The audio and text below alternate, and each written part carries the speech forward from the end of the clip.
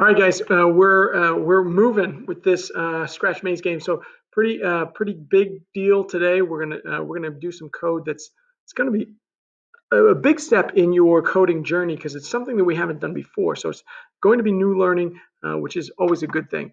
So here's where we are. If you look right here, this is what we're gonna work on today in class. We're gonna add a timer or a scoreboard to the game. We're gonna I'm gonna give you videos to do both of those things. So uh, that's good. It's not really too much code. Mr. Kizuka's class, you're going to be doing these three things. So we've got obviously fewer things to check off, but big important code to write today. Uh, we're going to introduce new concepts here uh, that are fundamental and huge in, in the coding world in terms of you being able to go uh, cross sprite and, uh, and that kind of thing. So uh, pretty, pretty fun stuff, pretty interesting stuff. So I'm going to go ahead and go to Scratch. And you can see I'm already logged in, which is good. If you're not, uh, if you're having trouble logging, and make sure you get in touch with Mr. Kizuka or myself. Uh, we've got your username and passwords. We'll get you back there. It's been a little while since you've logged in, uh, so that may be something that's that's important. Once you're logged in, we're going to go to the folder uh, for My Stuff. And once we're in My Stuff, of course, we're going to the Maze game. And we're just going to click that See Inside button to get right into the Maze game.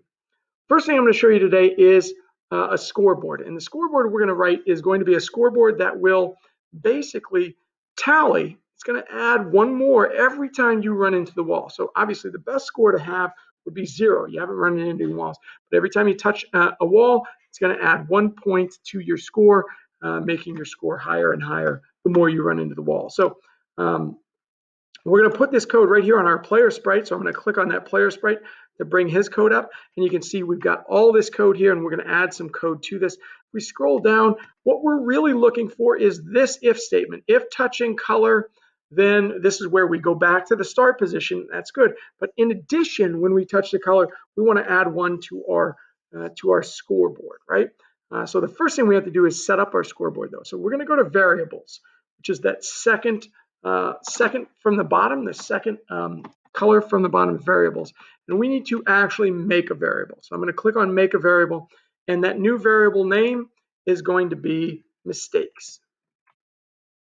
Now we could make it scoreboard or anything else we wanted to make it as well, but I'm going to make it mistakes today. You could call it boo-boos. It doesn't matter to me. Again, I'm going to make mistakes. I'm going to click OK.